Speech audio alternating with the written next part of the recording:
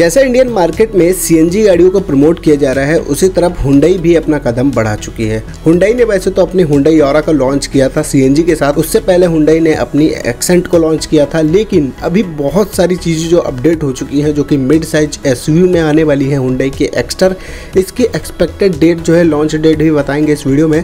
बस वीडियो को छोटा सा लाइक करके सब्सक्राइब करना, क्योंकि हमारे टेन सब्सक्राइबर्स होने वाले हैं। चलते हैं आज का वीडियो शुरू करते हैं। हुंडई एक्स्टर जो है, छह लाख के प्राइस पॉइंट से लेके साढ़े दस लाख के प्राइस पॉइंट तक की जो है चली जाएगी। और ये 10 जुलाई को जो है लॉन्च भी होने वाली इंडियन मार्केट में। बुकिंग्स ओपन है लिंक डिस्क्रिप्शन में वहाँ पर जाके आप बुक भी करा सकते हैं। इसमें 1.2 लीटर का इंजन फोर सिलेंडर देखने को मिल जाता है। मैनुअल ट्रांसमिशन के साथ आएगी। पेट्रोल और सी दोनों में अवेलेबल कराई जाएगी। और गाड़ी में क्या कुछ मिलता है, ये जानते हैं। तो पहले हम गाड़ी के एक्सटीरियर की बात करते हैं। फ्रंट में हुंडई का लोगो देखने को मिलता है। एक्स्टर की बैजिंग देखने को मिलती है। और डी जो है ऊपर देखने को मिलती है। नीचे में प्रोजेक्टर हेडलैम्प देखने को मिल जाते हैं।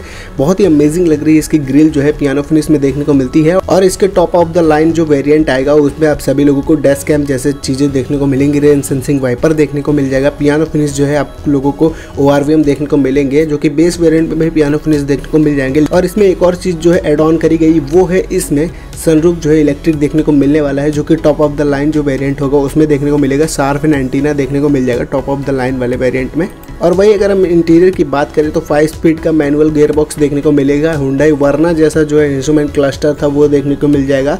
टेन इंचेस का इन्फोटेनमेंट सिस्टम देखने को मिल जाएगा, जो कि काफ़ी बेहतर लग रहा है, काफ़ी ज़्यादा प्रीमियम लुक देने वाला है। ये मिड साइज़ की एस बहुत ही अमेजिंग इंडियन मार्केट में आने वाली है। और वहीं अगर इसके एक्सटीरियर या फिर बैक साइड की बात करें तो अमेजिंग से टेल लैंप तो देखने को मिलेंगे, जो कि डीआरएल फ्रंट में जल रहे वैसे ही टेल लैंप भी देखने को मिलेंगे। डीआरएल जो है एलईडी में होने वाली और टेल लैंप भी एलईडी में होने वाले हैं। नीचे में आप सभी लोगों को जो है हेलोजन बल्ब की प्लेसिंग देखने को मिलेगी, जो कि रिवर्स पार्किंग सेंसर वगैरह जो आते हैं या फिर रिवर्स करने में जो लाइट जलती है, वो हेलोजन में देखने को मिलेगी। इंडिकेटर भी आपको जो हेलोजन में देखने को मिल जाएगा। और पीछे में जो टॉप वेरियंट होगा, उसमें defogger wiper spoiler high mount stop देखने को मिलेगा। ग्राउंड क्लियरेंस 200 मिलीमीटर का देखने को मिल जाएगा। काफ़ी प्रीमियम गाड़ी है। पियानो फिनिश का पीछे भी यूज़ किया गया है।